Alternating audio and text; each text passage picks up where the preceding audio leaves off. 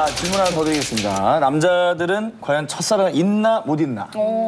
사실 한국 여자들은 대부분의 남자들은 첫사랑을 못 잊는다 뭐 이런 이상한 말을 믿고 있거든요. 아니 여자들은 첫사랑을 잊어요? 아, 못 있죠. 못 잊어요? 언제요, 소희 씨?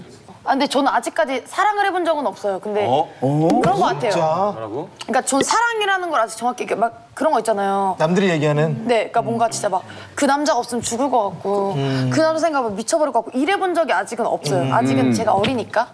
원하민 씨는요? 첫사랑. 첫사랑 저 초등학교 때. 아니 저 혼자 좋아했던 선생님? 어, 제가 막 심장 떨리면서 걔네 집 근처에서 막 어, 그래. 서성거리고 괜히 마주칠까봐 그 친구가 나오는 거 보고 강아지 새끼 강아지 있길래 강아지 아 일부러 보라고 아 귀엽다 막 이렇게 하고 있는데 개도둑이다 개도둑이다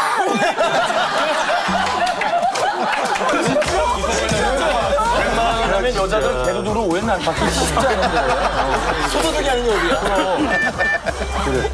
자, 그러면 한번 손 한번 들어보겠습니다. 자, 그럼 첫사랑에 미련이 남는다. 손 들어주세요. 하나, 둘, 셋. 손 들어주세요. 하나, 둘, 셋. 장윤하고 데니엘.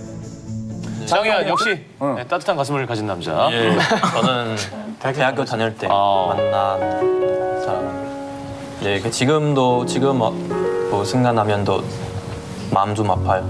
그게 아니라 그 여자분이 지금 사귀자 그러면 다시 사귀고 싶어요? 아니요. 근데 그 여자가 근데 그 여자가 제 마음 속에 그냥 영원하게 거주할 수 있, 있는 여자. 아, 영원하게 거주할 수 있는 여자.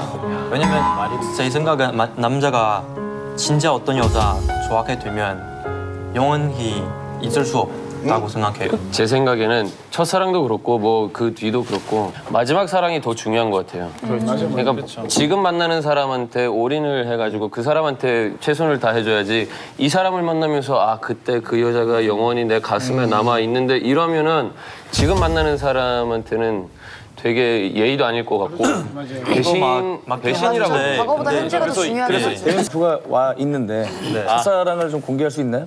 이거 아직 불편하면 얘기 안 하세요. 15살이었어요.